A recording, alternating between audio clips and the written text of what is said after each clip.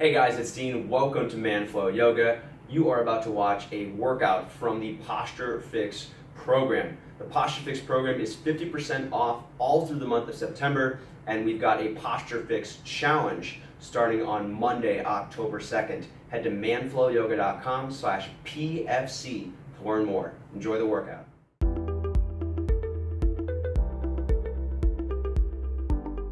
Hey guys, it's Dean. Welcome to Manflow Yoga. This is spine and hips, strength and mobility, level one. So we're going to be doing a lot of hip and spine work, and this is a lot of core work involved, but ultimately it's going to help strengthen your hips, make your spine more resistant to injury, make it feel better, and also improve the foundation, uh, the foundation of your body. All right, let's get going. So I'm going to start on your on on the back on your back on the ground.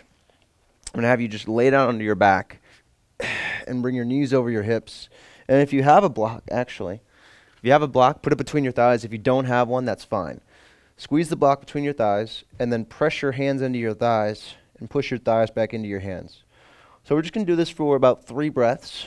And you're going to feel your hip flexors, your abs, and your inner thighs turn on.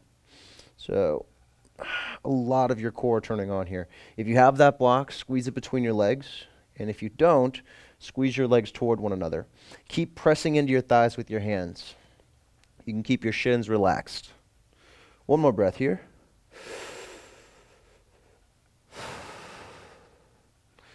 And then go ahead and relax.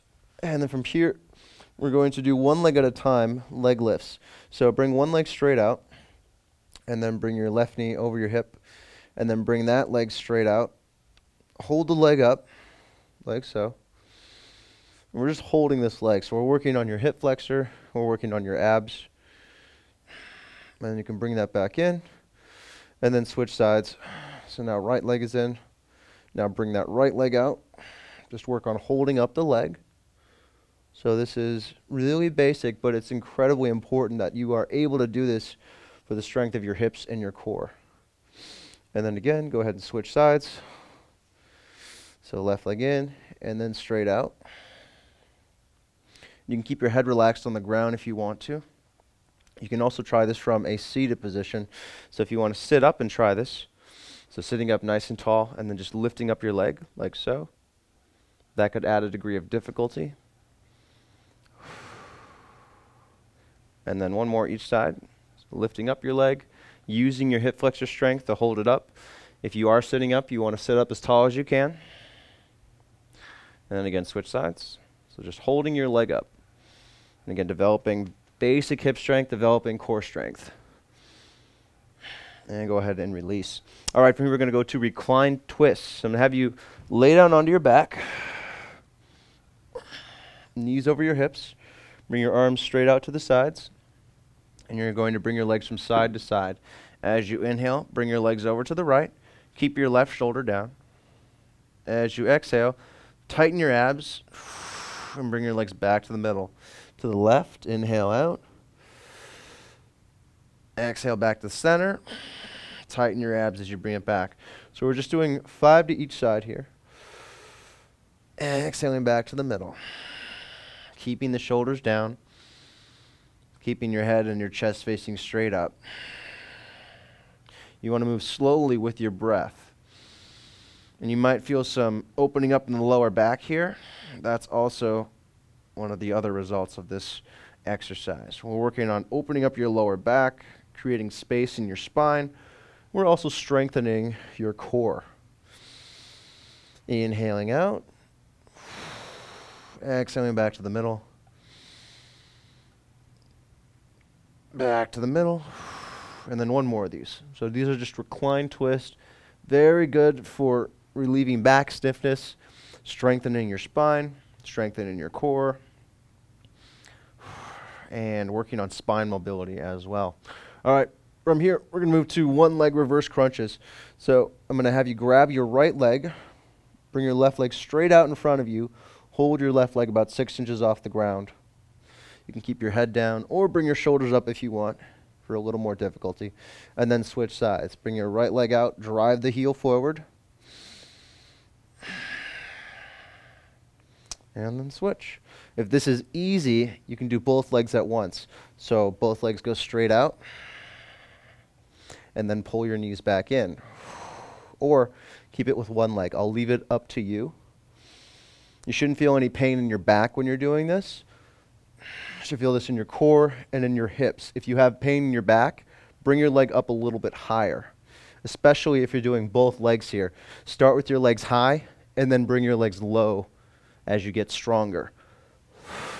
One more each side.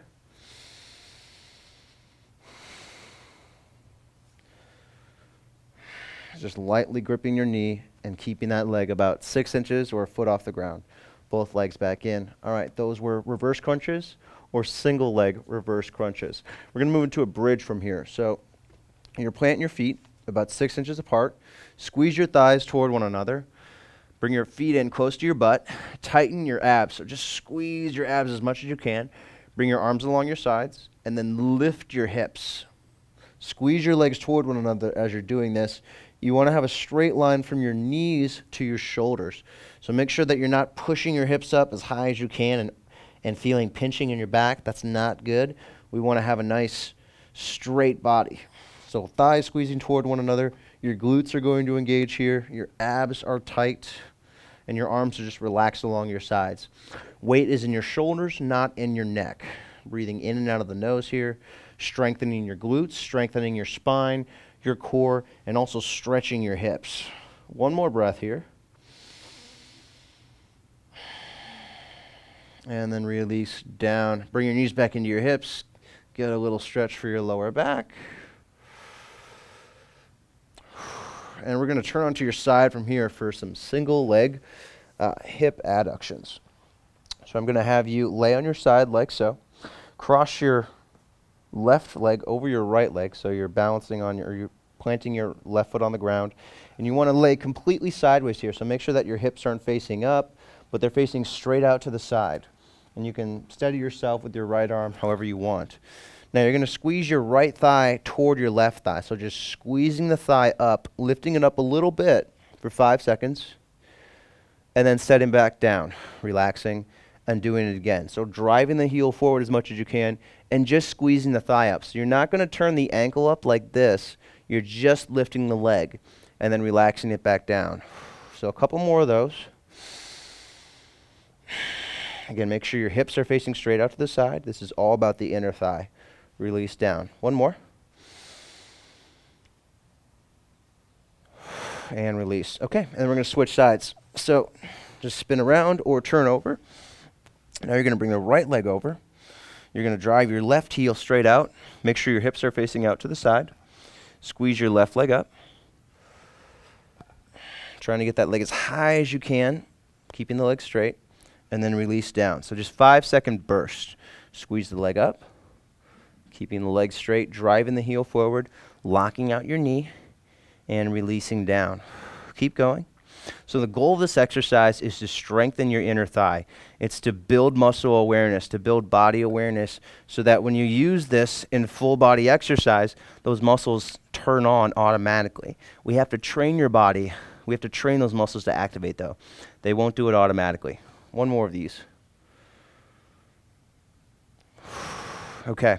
From here, we're going to move into donkey kicks. So these are a great exercise for turning on or strengthening your glutes. So you're going to go into a tabletop position with your hands under your shoulders, knees under hips, and you're going to bring your right heel toward your butt, press your leg up as high as you can, and then over to the side. So notice that I'm pushing my heel up first and then over. I'm not just going straight out to the side like this. I'm pressing up as high as I can and then going up and over. So if you were to look at me from the front, here's what this looks like going up and then over once I've gotten the leg up. Abs are going to stay tight. And you're just going to hold this for about five seconds and then release it back down. And so, just like those sideline hip adductions, which we just did, this is focused on getting that glute, the back of your hip, to turn on for your butt muscles. Keep going. Pressing the heel up, squeezing your heel toward your butt getting the leg up as high as you can, and then releasing down. All right, so switching sides. Hands under the shoulders again.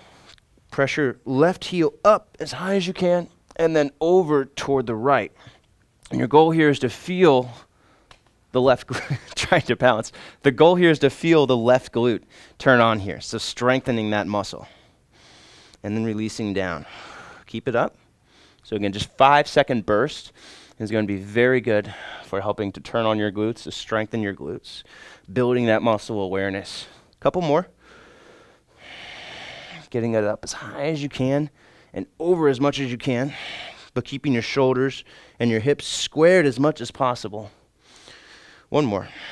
Pressing up, squeezing your heel toward your butt, pressing it up higher, squeezing your heel in more, and then releasing down. All right, so back might feel a little tight after that. That's totally natural. That's fine. We're going to go into a child's pose now. All right, guys, I hope you enjoyed that workout. Again, we've got the Posture Fix Challenge starting on Monday, October 2nd. Get 50% savings on any option of the Posture Fix program now until it starts. Learn more at manflowyoga.com slash PFC. Thanks for watching. Make sure you're subscribed. Make sure to like this video if you enjoyed the workout, and I'll see you on the next video.